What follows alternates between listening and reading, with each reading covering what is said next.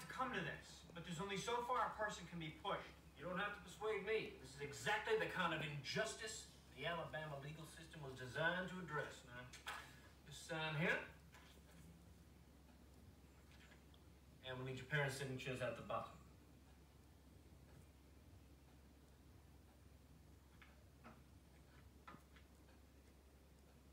Great. I'm a notary as well as a lawyer, so I can have this expedited.